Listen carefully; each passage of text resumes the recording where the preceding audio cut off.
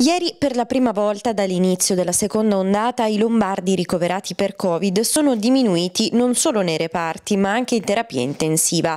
945, meno 4 da domenica, ci sono stati altri 140 morti e più di un terzo, ovvero 51, erano nel milanese, che ha poco meno di un terzo dei nuovi contagiati, 1604 ieri su 5289 in Lombardia.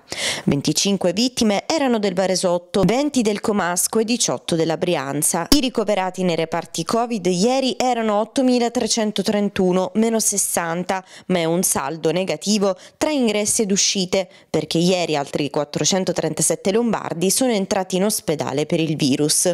Dei 9.276 pazienti totali, comprese le terapie intensive, oltre un terzo, ovvero 3.462, sono in ospedali del Milanese, più di metà dei quali a Milano città.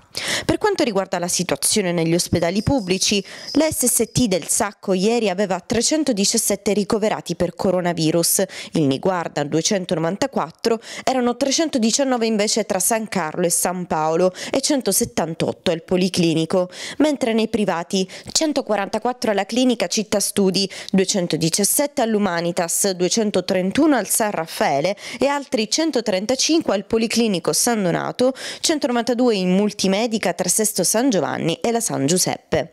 La geografia dei gravi, 945 in terapia intensiva, ne vede 117 in Insubria, 98 tra Lecco e Brianza, ben più di un terzo nel milanese, 385, ovvero il 60% si trova in città.